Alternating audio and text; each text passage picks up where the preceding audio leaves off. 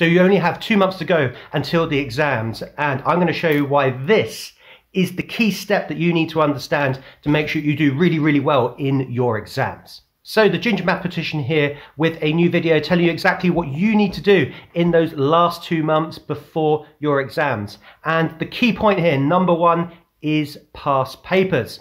Now, I'm sure many of you have actually heard this before from your teachers. Okay, do past papers, do past papers, do more past papers. But I want to give you a bit more structure exactly what do they mean by this. Now, you do have two months to go, which means you can actually space out the amount of past papers that you need to do. And my recommendation to you is to do three past papers a week because I can do a quick bit of maths here. If I do three past papers over um, two months, which is eight weeks, then I'm going to have 24 past papers completed before then I do the actual exams.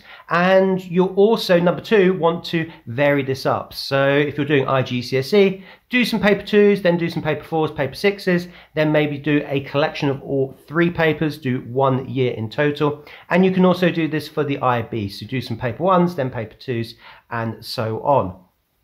Then my next question is, do you need to do open book past papers or closed book past papers? And what I would say to you here is make sure you start with some open book papers first of all. So you have the open book there, you have that as support as you go through the past paper. And as you get closer to the exams, so in that last month, then make sure you focus on closed past paper exams because that will really tell you exactly which topics you need to go over. Now, if you're not sure exactly where past papers are, then do check out the video just above where I go through how to find the IGCSE exam papers so you can practice that. Now back to my chain here. So why have I actually used this at the start of the video?